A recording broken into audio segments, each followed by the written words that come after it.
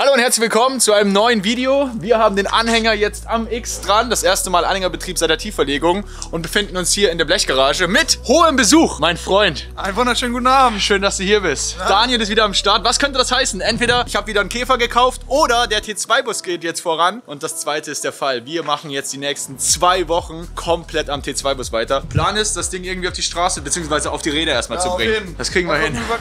Wir haben jetzt hier erstmal noch ein bisschen Arbeit, denn da hinter den den ganzen Reifen und so. Da hinten in dieser Blechgarage liegen alle Teile, die dabei waren beim Bus. Die müssen wir jetzt einmal abholen, hier in den Anhänger laden, damit wir uns mal ein Bild machen, was wir alles haben. Vieles habe ich auch schon bestellt und dann schauen wir, was noch fehlt, bestellen das nach und werden die nächsten Wochen, wie gesagt, ranklotzen. Jetzt erstmal hier ein bisschen freiräumen. Deck mal auf unseren Schatz. Seid ihr bereit? Ich bin sowas von bereit.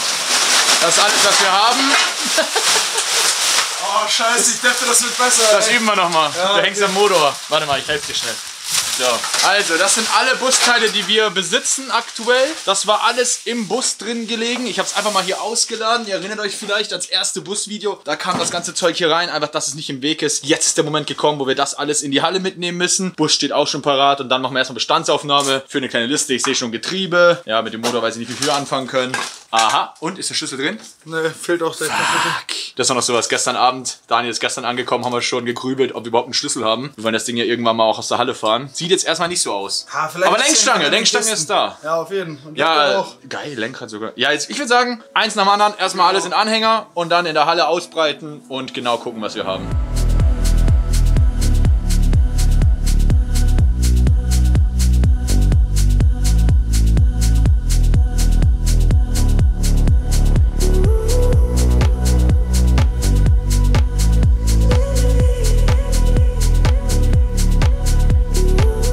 Fast wie Weihnachten, alles ausgeladen. Jetzt ist der nächste Schritt, die ganzen Kisten mal zu leeren. Detailliert anschauen, was für Kleinteile haben wir, was ist brauchbar, was nicht. Und ich würde sagen, das ist jetzt der nächste Schritt. Kurzes Update. So sieht das jetzt aus. Alles mal ausgebreitet. Wir haben viel, aber leider natürlich noch nicht alles. Wir haben eine ganze A4-Seite jetzt aufgeschrieben, die wir jetzt noch bestellen müssen. Ihr wisst ja, auch bei diesem Projekt Heckkraft Motors wird uns hier wieder helfen. Super geiles Service. Ich schicke gleich alles durch und er denkt natürlich auch mit und kann es noch sagen, was uns eventuell fehlt, um diesen Bus irgendwie komplett zusammenzubauen. Daniel, eine Sache fehlt uns noch, die können wir nicht neu kaufen, das ist eine Hinterachse, ne? Ja, so, mehr oder weniger. bauen ja vorne quasi jetzt auf T2B Scheibenbremse um, damit man sich halt das sparen kann, 512er Umbau, dann hat man ein bisschen mehr Optionen, was Felgen angeht und so. Und dafür brauchen wir natürlich hinten dann auch die anderen Trommeln und die kompletten Achsstummel hier sind anders. Der, das ist ja der alte Lochkreis 5x205, man kann hier leider nicht einfach nur die Trommel umstecken und die 512er Trommel fahren, sondern man braucht hier das komplette Ankerblech, dieses komplette Achsstummelteil hier. Ja, und deswegen haben wir eine komplette Hinterachse gefunden, das ist ganz gut, weil die Drehstäbe fehlen uns auch. Die sind irgendwie nicht dabei gewesen. Dann haben wir das auch dabei und ja. Ja, und vor allem ist das nicht nur irgendwie so ein kleines Ding, sondern der hat aus dem Bus das einfach rausgeschnitten mit Bodenblech und Rahmen. Das heißt, wir holen jetzt quasi eine komplette Hinterachse mit Rahmen und Bodenblech ab. Wir haben einen Anhänger, nur einen kleinen, also nicht meinen großen Autotransporter, den habe ich gerade ausgeliehen an einem Kollegen. Ich hoffe, das passt rein und das ist jetzt ungefähr 40 Minuten Fahrt. Fahren wir los und holen diese T2B Hinterachse ab. Wir sind schon unterwegs, sind angekommen in Pfullendorf. Das ist hier so knapp eine Dreiviertelstunde weg von meiner Halle. Hier liegt die Hinterachse. Wir warten jetzt noch ein paar Minuten. Wir haben uns um 15 Uhr verabredet. Die Zeit nutzen wir hier für einen kleinen Snack, den wir uns noch gönnen. Und äh, dann schauen wir zu dem Kollegen, der die Hinterachse verkauft. Wir haben die Hoffnung, dass der noch mehr Teile liegen hat. Auf den Bildern hat man im Hintergrund so ein paar zerschnittene Busse gesehen. Wir brauchen nämlich noch das ein oder andere Teil, wo es nicht mehr neu gibt. Und das wäre natürlich schön, wenn ihr uns da weiterhelfen könnte. Wir halten euch auf dem Laufenden, essen die Pommes auf, fahren dann weiter zu dem Verkäufer. Yeah! okay, wir haben noch ein paar Versuche. Ja, ich mach nochmal, ich mach nochmal. Komm wieder rein hier, ey. Wir schneiden einfach so, als ob das der erste war. Auf jeden Fall. Ach komm, ich hab keinen Bock mehr. komm. Aber mach noch einmal, mach noch einmal. Oh, reingedankt, Alter. So, wir sind angekommen mitten im Wohngebiet und was steht hier? Diverse zerschnittene T2-Busse und ich sehe auch schon unsere Hinterachse, glaube ich, wenn das die ist. Wir gehen mal rein, ich lasse die Kamera schnell im Auto, regeln das alles und melden uns gleich wieder. Daumen drücken, dass wir gerade ein paar Teile finden. Wir sind wieder zurück und waren sehr erfolgreich. Wir waren tatsächlich jetzt etwas länger dort, denn es war eine nette Dame und die hatte nicht nur einen Bus, den sie zerschnitten hatte. Es waren mindestens, wie viele waren es? 15.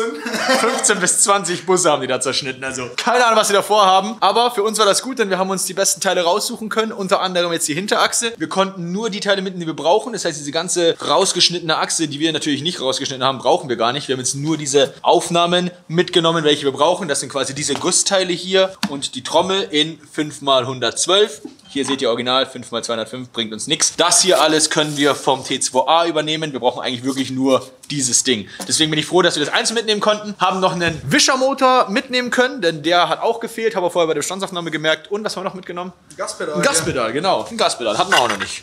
Sehr schön. Super praktisch. Den Rest haben wir jetzt teilweise schon hier als Neuteile. Eben HKM hat uns schon das erste Paket geschickt, haben wir auf dem Rückweg abgeholt. Da schauen wir mal kurz rein. Den Rest bestellen wir heute Abend. Das haben wir jetzt nochmal eine Liste gemacht, wie gesagt. Und dann sollten wir alles da haben, um heute bzw. morgen und die nächsten Tage hier richtig ranzuklotzen. Wir fangen an heute mit... Bremsladung einbauen. Geil, einmal alles neu gekauft hier natürlich. Muss noch gebogen werden, ne? Ja, Wie machst du das mit der Hand einfach? klar. Dein Vorsichtiger Magic, Daumen, ey. Magic Hands, alles klar. Ne? Mit den nicht vorhandenen Muskeln, ey. Muss man vielleicht dazu sagen, Daniel wurde vorher gedisst von der Verkäuferin. Er hat diesen, diese Achse da getragen wie ein Mädchen. Ey, überhaupt nicht wie ein Mädchen. Ich würde sagen, ich hätte einfach die schwerere. Bei mir war halt noch eine Antriebswelle dran. Du Red hast dir halt das, das einfache Ding ausgesucht. Red dich raus. Sie war der Meinung, dass ich zwar ein Spargel bin, aber mehr Kraft habe wie er. Und ich denke, sie hat ein gutes Menschenkenntnisvermögen, deswegen denke ich, das stimmt. Ich werde, während du die äh, Bremsleitung verbaust, werde ich hier die Tragarme und diese Kollegen hier einmal strahlen, dass sie wieder schön sauber sind. Kommen natürlich überall neue Lager rein. Auch hier, das machen wir einmal alles neu. Aber davor muss ich die einmal sauber machen. Dann pressen wir das neu ein, kleben die ab und dann werden die lackiert. Das hier sind die Tragarme von der Vorderachse. Vier Stück haben wir von denen. Die will ich, wie gesagt, schön machen. Und hier von der Hinterachse die Schräglenker. Das schauen wir uns das letztes Mal so eklig an. Die werden jetzt gleich blank.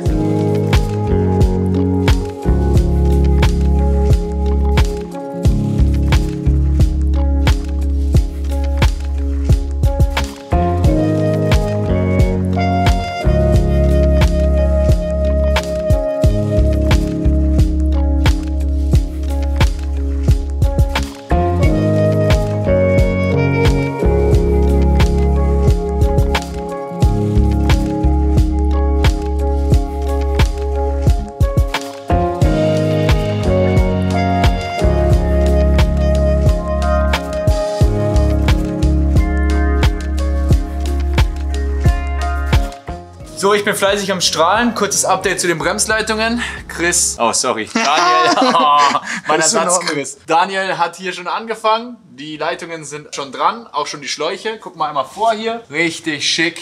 Ah, ist so geil, einfach einmal alles neu. Sollen wir die dann irgendwie einschmieren nachher noch oder so? Oder mal Können so ein Wachs? machen, ja. Können wir mal ein bisschen Wachs drüber machen, wo wir eh schon haben. Und hier endet es dann. Da vorne wird dann noch, wenn die Achse drin ist, gekürzt und gebogen, sodass das passt. Bevor ich jetzt weiter strahl, wollten wir uns den Tank anschauen. Der sieht von außen sehr gut aus, aber der rieselt ein bisschen, ne? Und deswegen schauen wir da jetzt mal rein, wie der von innen aussieht. Ich hoffe natürlich nur Gutes, ahne aber Böses. Oh, da müssen wir... Ich, ich hol mal den Schwanz. Guck mal Werkzeug. Ich nehme die Lampe. Ah, Mann, ey. Oh Mann.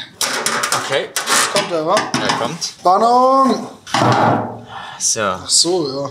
So. So, ja. Ah, ich guck mal rein hier. Guck mal rein. Ach du Ich Scheiße. will auch mal reingucken hier. Ach du Scheiße. Alter, was ist das? Alter, alter Kraftstoff.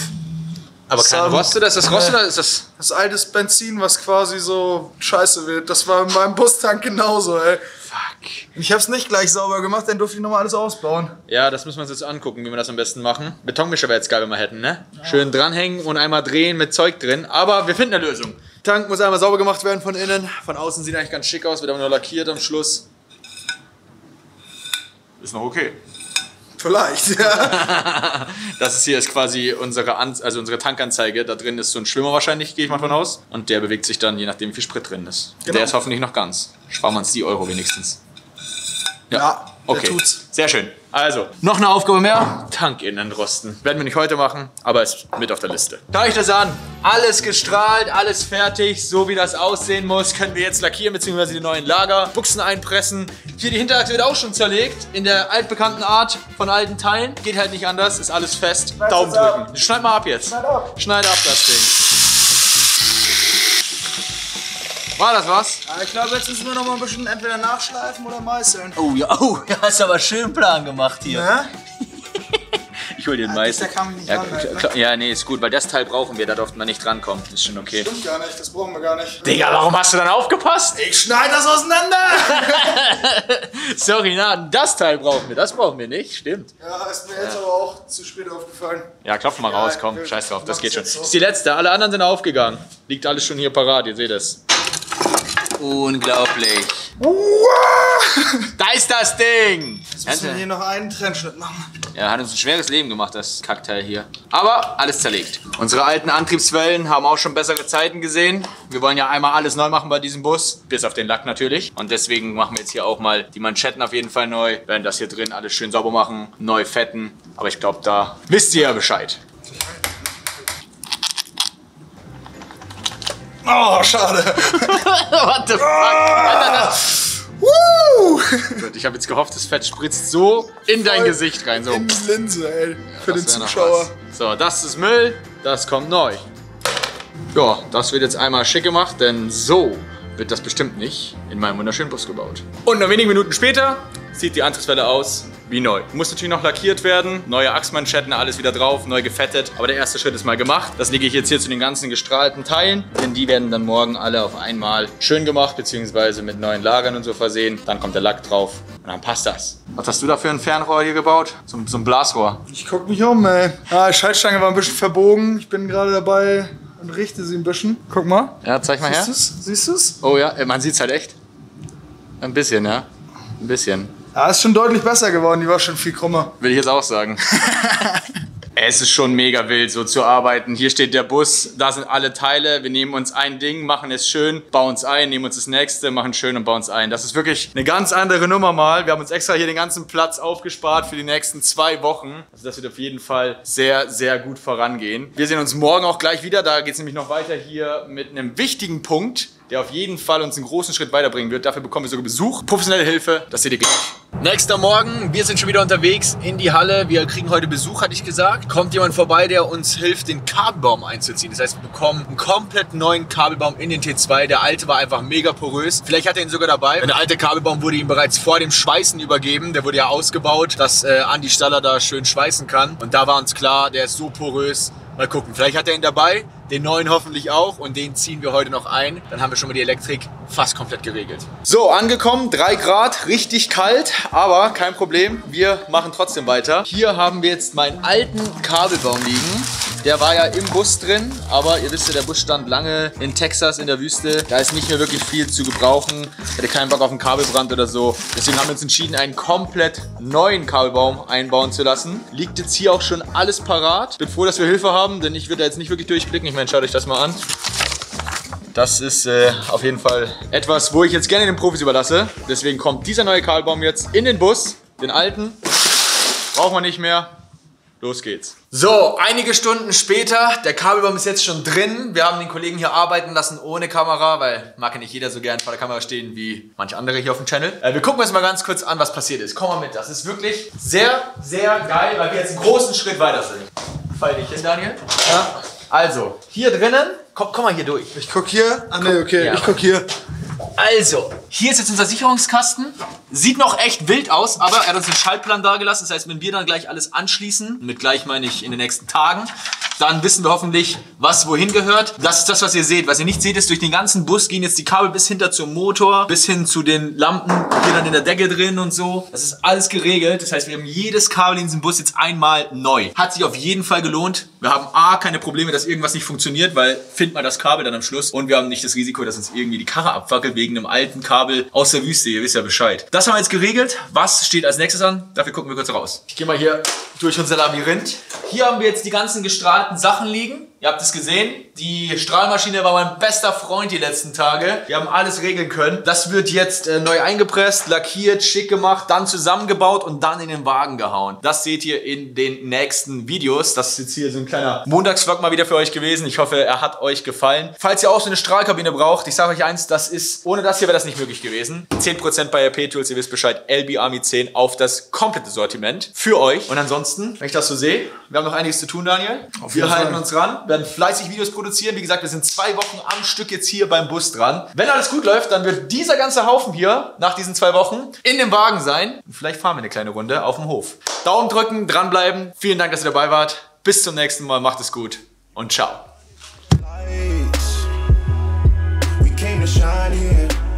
Watch it look daytime in the night. We bring the vibes here.